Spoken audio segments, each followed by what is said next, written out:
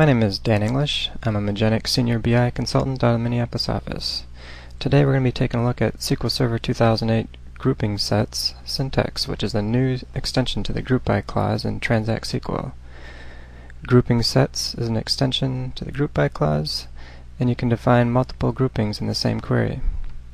Grouping Sets produces a single result set that is equivalent to a union all of different grouped rows, making aggregation querying and reporting easier and faster. This demonstration today is going to be using the February 2008 CTP of SQL Server.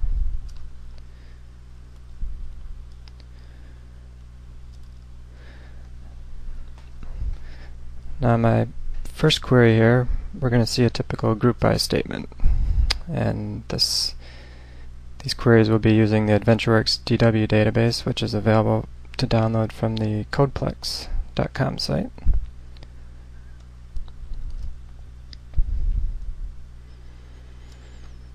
Now in here I'm joining a few tables, joining the time dimension, product, subcategory, and sales territory, along with the reseller sales fact table to get some data.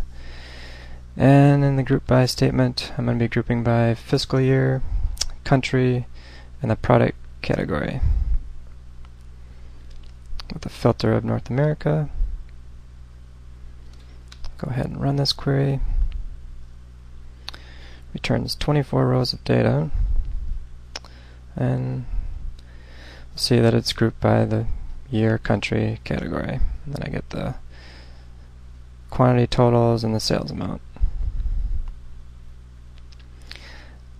Now let's say if I wanted to go ahead and add some additional aggregation into this query. So I want to get some totals by the fiscal year and country, maybe get some totals just by fiscal year, but I want to add them all into the same result set.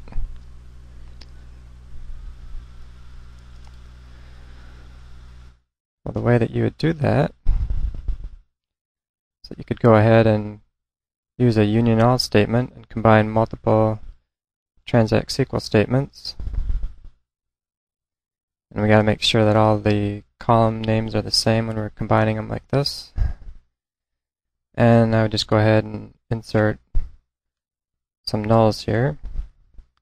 So in this second statement, I'm going to group by fiscal year and country. So category is being left out. So I just substitute that with a null value.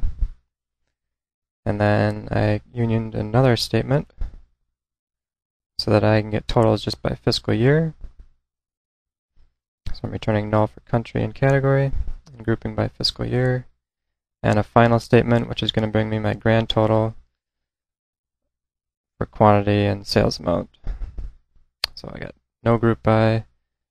I'm just returning nulls for fiscal year, country, and category. We run this statement.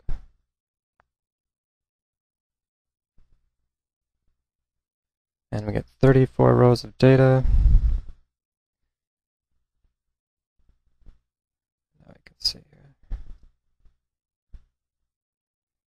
Get my original 24. Now I get my group by, additional group by information here. Got fiscal year and country. Got one by fiscal year. And at the bottom I got a grand total.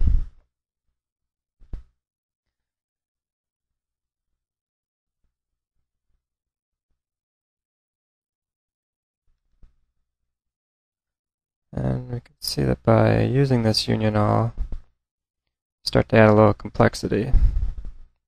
Quite a few lines. Quick line count here. We're looking at 15 lines.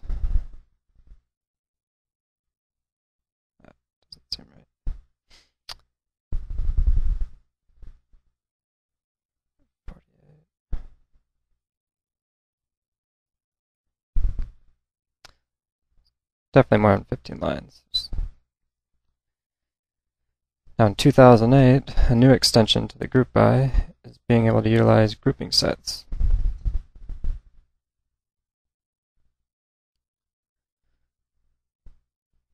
Now what this allows us to do is simplify our query and gives us the ability to include multiple aggregation levels within the same select statement. So in the grouping sets here, I got our original one, which was grouping by fiscal year, country, and category. Then I've added an additional grouping by statement to do fiscal year and country, one just for fiscal year, and then one isn't specifying anything, so I'm just going to return the grand total.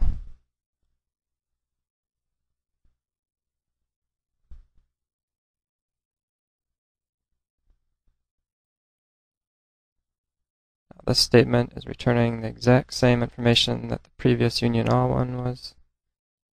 34 rows of data. And I can see here I got a total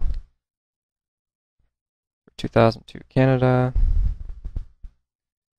I got another total here for United States 2002, and I got a grand total for 2002.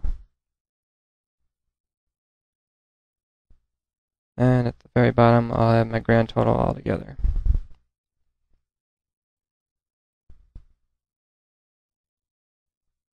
Definitely simplified the query.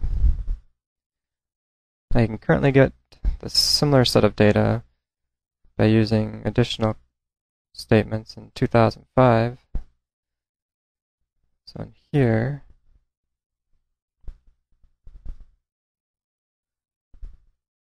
I have my original group by clause by fiscal year, country, and category, and I add this with rollup. This returns 34 rows of data. That's going to be the exact same data set that I just returned. Now with the with rollup, I don't really have the flexibility as grouping sets. Grouping sets, I can add additional groups and I can remove some if I don't want them. In the rollup, I can't really specify that. It's just going to automatically aggregate, aggregate the values based on my group by statement. So it's first going to return me my fiscal year country and category roll up. Then it's going to slowly roll back and it's going to eliminate category from there and include the fiscal year and country roll up. And then it's going to just return the fiscal year roll up. And at the very end, I'll get my grand total. So it slowly works its way back in the group by. If I want to return every combination of aggregation level can currently use the with cube. And this is going to return every combination of aggregation within the group by statement. I get 60 rows of data this time. The big difference is that it's throwing in a group by aggregate value on category. So I get fiscal year in category. And in here somewhere around, I'm also going to get it just on category level.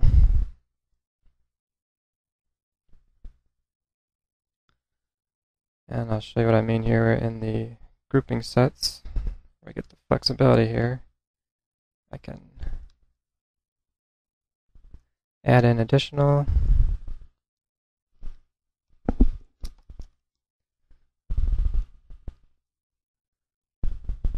I can even remove some of these and by using the with rollup I don't really have that flexibility.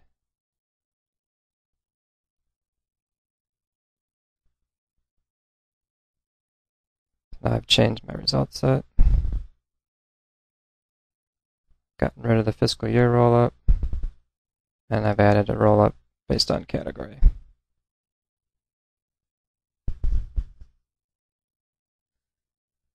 That is all I have in regards to the grouping set syntax. I hope you enjoyed the overview of the grouping set syntax in SQL Server 2008, and I want to thank you for watching this screencast.